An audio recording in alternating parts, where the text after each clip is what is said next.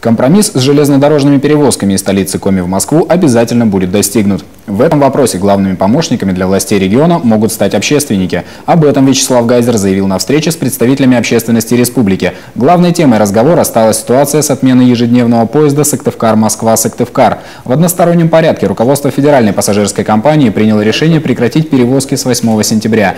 Пока курсирование поездов железнодорожники намерены возобновлять лишь в период праздников, а также в дни новогодних каникул. Вячеслав Гайзер подчеркнул, что для республики сейчас принципиально важно перевести эту скандальную ситуацию в конструктивное русло. Только в планомерной работе можно прийти к правильному решению, и уже есть первый результат. Мы э, э, вроде как согласованный вариант нашли, чтобы э, вот на сегодняшний день, чтобы это движение выглядело следующим образом.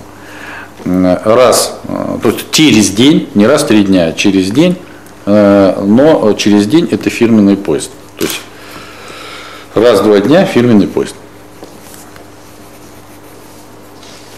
Вроде это как промежуточное решение, можно было бы считать компромиссом, посмотреть этот вариант. И в случае, если действительно будут э, обоснованно э, подтверждаемые расходы, которые мы будем видеть, что они приносят убытки от такого движения, то мы бы депутатскому корпусу предложили посмотреть тогда вариант субсидирования и вот этой части. Хотя мы с вами знаем, что пассажирская а, перевозки субсидируются федеральным бюджетом, это федеральное полномочие, особенно то, что касается субсидирования движения плацкартных вагонов.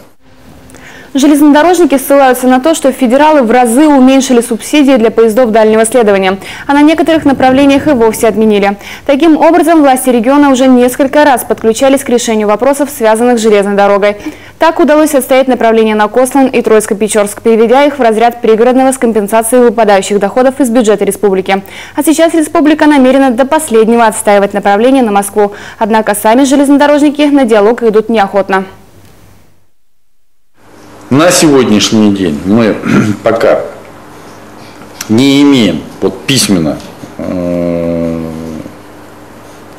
ну, завизировано, что ли, подписанного да, со стороны федеральной пассажирной, пассажирской компании решение о том, что вот вариант, который, собственно, мы вместе выработали, принимается.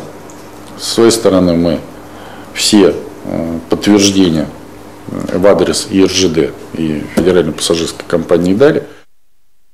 Вячеслав Гайзер заверил, что в ближайшее время вопрос по поезду Сыктывкар-Москва все же будет решен. К этому подключился полпред в Северо-Западном федеральном округе Владимир Булавин. Он поддерживает решение республики.